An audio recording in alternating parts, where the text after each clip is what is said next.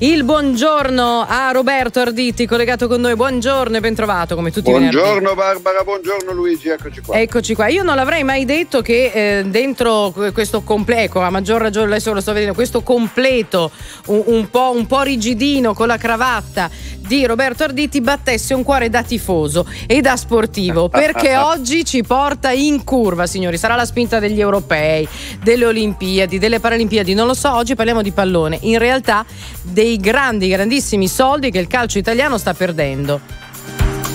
Eh sì Barbara, ed è una riflessione che vale la pena fare perché questo è l'anno del più grande successo, almeno per i tempi recenti, calcisticamente parlando, del, del, per l'Italia, abbiamo vinto gli europei, poi ci sono stati anche grandi successi alle Olimpiadi, però insomma l'anno degli europei è un anno calcisticamente molto importante per l'Italia.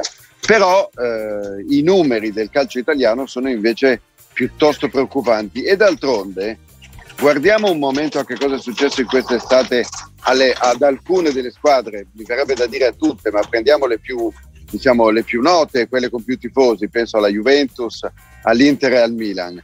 Eh, non è mica un caso se la Juve lascia andare via un giocatore come Cristiano Ronaldo e addirittura le due milanesi perdono i due giocatori simbolo in qualche modo degli ultimi campionati, Lukaku per l'Inter e Donnarumma per il Milan. Perché tutto questo accade? Tutto questo accade perché, come anche un report questi, uscito in questi giorni della, Feder, della Federcalcio dimostra, il calcio italiano è in profondo rosso.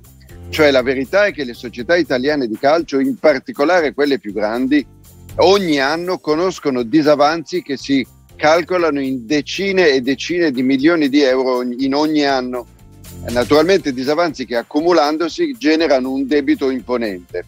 Ecco, questa situazione del calcio italiano va in qualche modo sanata e eh, tutti i dirigenti del calcio ne sono perfettamente consapevoli, ma si fatica a trovare una soluzione. Vorrei anche dire che il fenomeno accade anche un po' in giro per l'Europa ed è anche un po' figlio del, del periodo Covid da cui veniamo, un periodo nel quale per esempio gli incassi dei biglietti allo stadio sono notevolmente calati.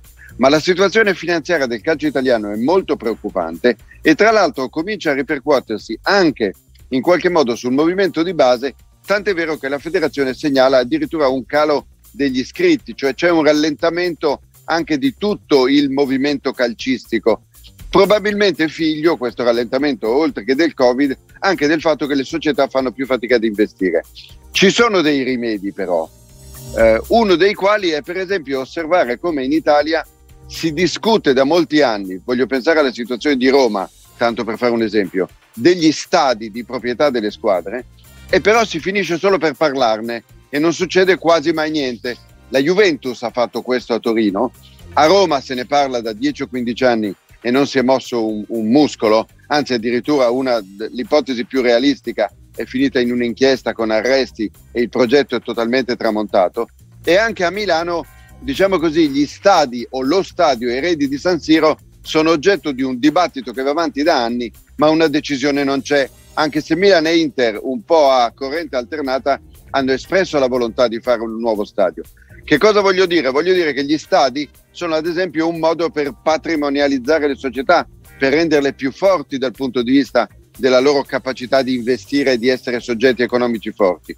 Di tutto questo ci sarà bisogno di parlare in Italia, perché se guardiamo solo ai risultati del campo, rischiamo di, di scoprire mese dopo mese che il calcio italiano comincia ad essere, rispetto a quello inglese o anche francese e tedesco, un campionato ridimensionato proprio perché le risorse a disposizione sono minori. Questa è anche un po' la risposta, Roberto. Ti chiedo 20 secondi, davvero un flash a quelli che dicono: beh, sì, insomma, ci dispiace perché le società sono comunque aziende, ma alla fine il calcio è calcio, insomma, non è così importante per quanto riguarda un paese. Il calcio è uno sport, certo, ma è anche un gigantesco fenomeno sociale ed è anche un grande eh, motore di lavoro per un sacco di persone, è un pezzo rilevante della nostra economia, dei diritti sportivi, della televisione, di tutto quello che ruota intorno al calcio e, vin- e quindi va trattato come una industria, non come un giocattolo. Poi avere lo stadio di proprietà proprio per questo ti permette di avere il ristorante, lo store con tutti i gadget, una serie di cose per cui gli introiti sarebbero maggiori. Una cultura del calcio, non soltanto un posto dove andare a vedere la partita. Roberto Arditi, grazie, ci risentiamo e ci rivediamo venerdì prossimo. Buon lavoro. Molto bene, buon fine settimana.